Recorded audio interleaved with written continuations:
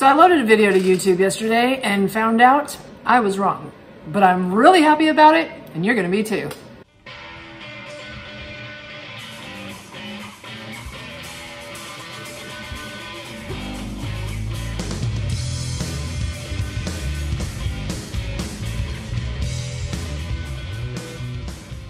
Hey y'all, thanks for tuning back into Chickanic. Hope everybody's having a great week. I'm gonna start out with, I made a video and posted it yesterday and I was wrong. But that's actually a good thing and you're gonna be happy to hear about it too. But before we get into today's video, if you're a fan of saving time, money, and frustration while fixing your own small engine equipment while watching in-depth tutorials, you've come to the right place because that's what I do. I upload a couple times a week, and if that sounds interesting, hit that like button, smash that subscribe, don't forget to hit the notification bell, and please leave a comment. I love to read through the comments, and I will reply to all the early commenters. All right, so let's jump right into it. I posted a video yesterday working on a Husqvarna 54-inch cut deck that was my neighbor's. He hit something and broke the center, center spindle out of it. So I thought it was just going to be a simple spindle replacement, sharpen some blades, but it ended up being a little bit more once I got into it when I realized that his spindle on the right side of the deck had also had a mushroomed out star on the bottom of it to where the new blade would not go on. And that he ended up having to have new blades because his other blades were shot. If you missed that video, I will leave a link right up here, but I will also leave a link in the description box below so you can watch it after this video if you want because you're not going to want to miss this news.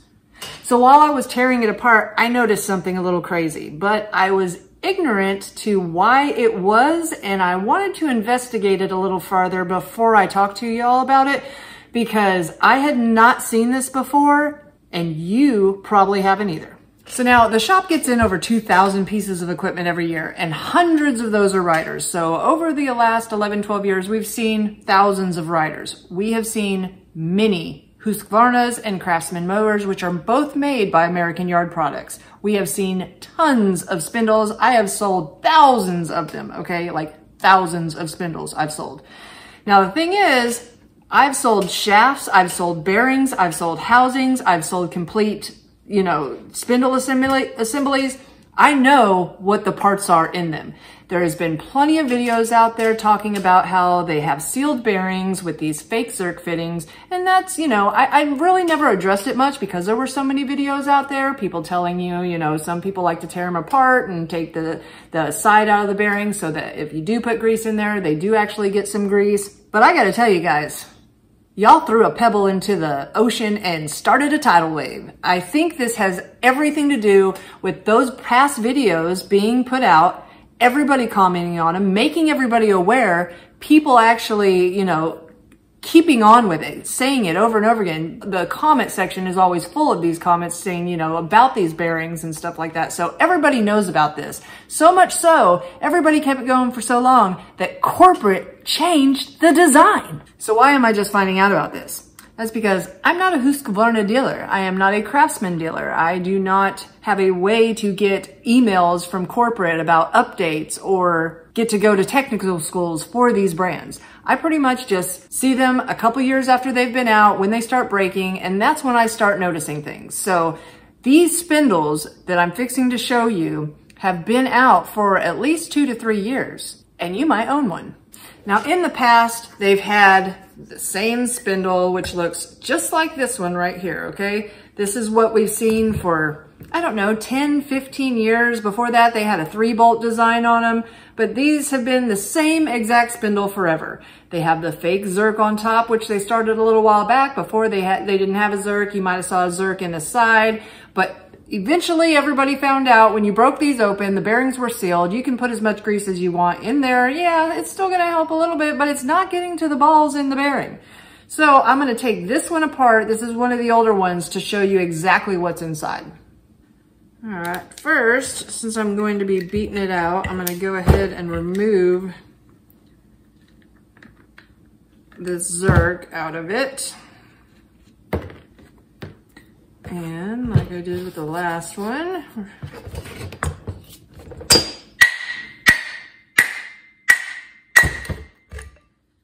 all right, here's what we got in this thing. Okay, so the bottom bearing did not come out whenever I took the shaft out, which usually it does. Usually it's stuck like Chuck right here and uh, very hard to get off. But I did have to beat it out so I could show you that these are sealed completely sealed bearings, both sides. They've always been like that. And then on the top bearing, it's always been a flat surface and you would have to apply a spacer before you put your pulley on.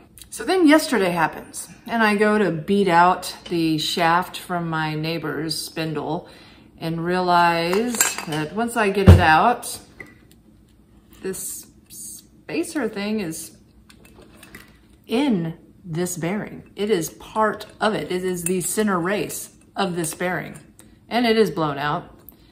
And also at the same time, when I'm taking it apart, the top of the bearing falls off. So I know it, at one time it was a sealed bearing. The other side of the bearing, if you look down inside, it's a sealed bearing down in there. So I'm like, oh, well, you know, that's just junk. They probably started putting spacers on them. That's cool. But, you know, obviously the grease didn't hold up too long. But then when I see the bottom of the shaft, I see that it's open on the top too. And I'm like, that's weird. I, I didn't see any chunks of it in there. I mean, I guess it could have broken apart and, and completely grinded into nothing inside while it was running. But it was also full of a lot of grease. So I was sort of at a loss because most of the time it's a sealed bearing on the bottom. And I gotta say, 90% of the ones that we see at the shop, the bearings are not bad. A lot of people say, oh, you need to grease your bearings. Yes, you do. But the fact is, is the majority, 90% of all the spindles and, uh, that we end up replacing is because it has a broken housing or the star on the bottom of the shaft is blown out. But then again, we live in Arkansas, so we grow rocks here. You might live somewhere where your grass is perfect, you never hit anything, and you will definitely go through bearings before you go through a housing or the star on your shaft. So I can tell you now, there was only factory grease in this. Both of these bearings are gone, okay? like gone. So yeah, they changed the shaft bearing. They sure did. They changed the top bearing, although it's still a sealed bearing on the bottom. They did put a spacer inside of the bearing, so you do not have to worry about putting a spacer before you put your pulley on because I'm sure, I mean, that we tell everybody we sell a spindle to to make sure to put the uh, spacer underneath the pulley because they will destroy the entire spindle the first time they run it if they forget. But that's, that's a little crazy that they actually listened, made it to where it can be greased. So guys, it's time. It's time to start greasing them. Grease it up. Do it. Do it to it. So I went ahead and I double checked. I made sure that this was correct, that somebody hadn't changed it out. I looked up the model and looked up all the parts and yes, this is the replacement for it. It is a greasable shaft. I also looked up the new, brand new Husqvarnas that's being sold at the big box stores now. They have the exact same shaft. I looked up some from a year or two ago they have the exact same shaft. So like I said, I don't see the stuff until it starts breaking and that's why I finally know about it, but now you do too and hopefully this will save you some time, money, and frustration in the future. So I'm gonna leave a link in the description box below if you would like to replace your shaft with a greasable open bearing shaft. Also to that top bearing and the whole spindle assembly. Virtually everything's the same as the old one. It's just better. Ooh, one more thing before I head out. I am finally getting my garage in order. It's been crazy since we had our Camaro in here. We decided to put it on the outside in the back burner, move the vet in here, get everything organized. I am finally set up. I got my stickers up here. Let me show you all my favorite people. So I got plenty of room for some more of my favorite peeps. If y'all want to send me one, just send me an email and I will get you the address. I got my buddy, the mower medic, Jeremy. I got Bruce's shop. Big Dog Dad Lawn Enforcement Officer. I've got Bald Eagle 242 Mix Mowers, the Mower Man, Eliminator Performance, Big Johns, and the Lawnmower Lady. Y'all go check all of them out. They got great channels. So thanks again for tuning back into Chickanic. If you haven't found us on Facebook yet, find us at facebook.com slash Chickanic. Find us at Instagram at The Real Chickanic or find us at Chickanic.com where you get your own t-shirts, hoodies, and long sleeve shirts. Thanks and have a great day.